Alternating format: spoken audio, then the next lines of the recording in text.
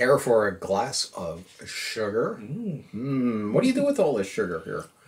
well, candy. we can make candy with this one because this is called the Candy Factory. Fill the glass with sugar. Place that over. This takes a, a few seconds now. It's not not just instant because this is this is the Candy Factory. I'm going to place it on my hand just like this. The cover goes over. You can hear it. You hear it working. You hear it working. Something's happening here. Look at. I hear it. There. Wait a minute. Wait a minute. The sugar happens to be changing to candy. I'm going to grab my glass over here and pour out the candy.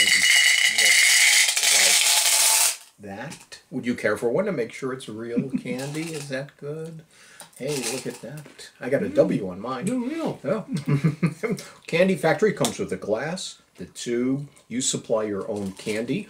This is great if you're performing at a birthday party. You can produce at the end of your show candy for the kids, or maybe a little prize if you don't want to use candy. So maybe you know some parents don't want you to produce candy for the kids. to get hyper. I don't. Not like us. okay, get Candy Factory. Okay, some more sugar.